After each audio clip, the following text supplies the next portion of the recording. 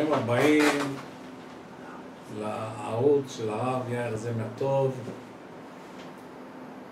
ברוך השם, מיכאל אל חיים, אנחנו זוכים, ברוך השם, לדבר למעשה מרכבה, זוכים היום לדבר על מורי ורבי, שהייתי גם כי למדתי ממנו הרבה, היה תלמידו אה, הרב מרדכי שרעבי, וגם אני זכיתי אה, להיות שנים רבות אצלו ולמדתי ממנו חוכמת היד, חוכמת הפרצוף בזמנו, אה, שזכיתי לשמש אותו גם כן שנים רבות שהייתי איתו, כי הייתי שליח של הרב שרעבי להביא לו מעטפה בכל חודש וחודש מעטפה, אתם יודעים, אה, שיהיה לו במה להתפרנס, ממה לאכול, אבל הצדיק הזה, מה היה אוכל בבוקר שהייתי מגיע אליו?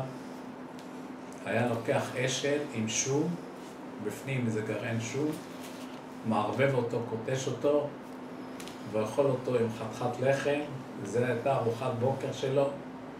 מי יודע אם עד הערב הוא לא היה אוכל, רק זה מה שהיה אוכל. בבוקר, אבל כל היום שלו זה היה עסק התורה.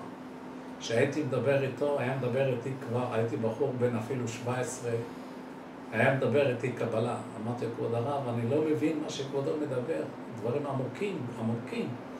גמטריות וכל מיני דברים, אמנם יצאו הספרים לאור, משהו דיבר, יש כל מיני, בחנויות הספרים, היום ספרים צריך לברר. יש אולי איזה עשרה ספרים כבר יצאו של הרב חיים סילבני, אולי יוציא איזה עשרים ספרים, יש עוד ספרים להוציא לאור. אבל הנכד שלו, גדעון, הוא אחראי על הוצאת הספרים, צריך לדבר איתו.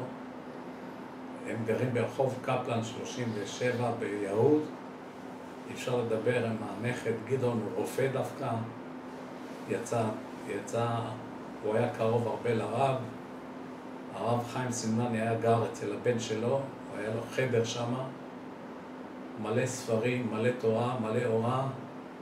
הארון במקום בגדים, היה לו ספרים. עד שגיליתי את זה. אבל הרצון שלו היה כל הזמן ללמוד תורה ולהתקדש. עכשיו הימים האלה הם מהשובבים, בשבוע האחרון פרשת משפטים, מה היה עושה? היה הולך למעיינות, היה טובל במים קרים, במים, לא לשם תענוג, היה טובל לשם... ש... יש תפילה של רבי אהרון רטה, אפשר לחלק, לחפש את זה בהוצאת ספרים. חלק רביעי, תפילה לפני המקווה. תראו מה כתוב שם. עבור תיקון הכעס. אה, צריך לכוון את זה במקווה. אני טובל תפילה אחת עבור עוון הכעס, כי מקווה זה, זה סגולה לכעס. כל כועס כאילו עובד עבודה זרה. בר מינן, אסור לכעוס בין איש לאישה, צריך אהבה ואחווה בין איש לאישה, בין אדם לחברו. אה, כמה הוא היה מקפיד על זה, על אהבת חברים, על אה, לימוד תורה, על אהבת תורה, על איך לאהוב באמת את התורה, איך לאהוב את כל מצווה שיש בתורה, תרי"ג מצוות, עשה ולא תעשה, איך לקיים את הדברים האלה. הרב סינבן היה מדקדק כלה בחבורה, מה זה הלכות שבת, אדם תמיד חכם, אפילו שהוא יודע מה זה שבת. שבת זה לא רק לשמור שבת או להדליק אור. יש ספרים של הרב עובדיה יוסף שהוא פסק, שאפשר לקרוא את זה, זה קל מאוד, אפשר להבין מה זה הלכות שבת. כל יום אדם בשבת, על שולחן שבת, ילמד כמה הלכות שבת, יעשה לו מנהג, הלכות שבת, ינהג מה המנהגים, למשל מגיע חנוכה, מגיע פורים, מגיע ט"ו בשבט, מה, מה נוהגים, מה, מה המעשים שלנו בראש שנה, מה אנחנו צריכים לעשות ביום כיפור, מה אנחנו צריכים? מה ההלכות של כל דבר, לא להגיד אני יודע, כתוב בסידור, אין דבר כזה, צריך ללמוד, האדם להתכונן לפני כל מעשה מחשבה תחלה. והרב סילבני, מה שאמרתי לכם, היה אוכל מעט, ורק בשבת היה אוכל חתיכת עוף וחתיכת דג לקיים סעודות מצווה, סעודת מצווה בשבת, שהיה חתיכה אחת אוכל. יום אחד, אני זוכר, הוא לא הרגיש טוב, היה לו כאבי בטן, ובר מינן הבן שלו אמר, מי יודע מה יש לסבא, חולה.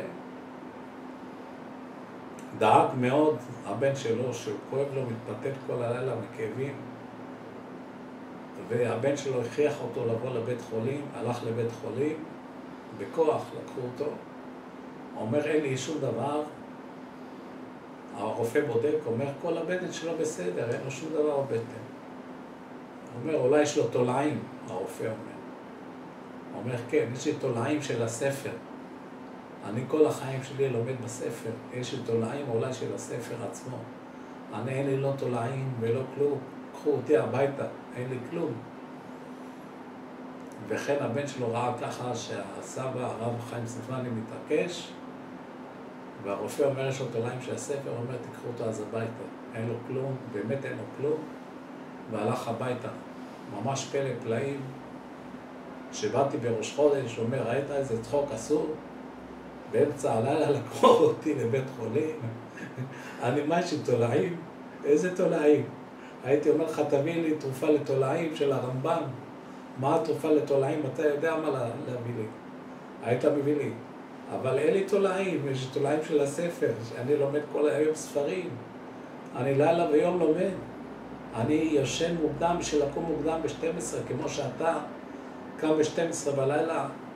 אנחנו גם כן קמים ב-12 בלילה ולומדים, וככה כל הצדיקים הנסתרים היו מתאבים מתי יגיע 12 בלילה לחבר לילה ויום בתורה ובתפילה ובמעשים טובים.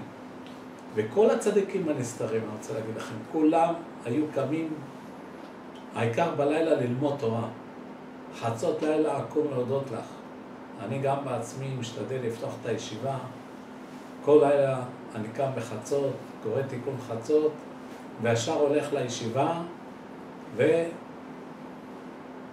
ופותח את ישיבת המקובלים ולומד ברוך השם תורה, ממשיך את דרכם של הצדיקים, מה שלמדתי מהם, ממשיך את דרכם.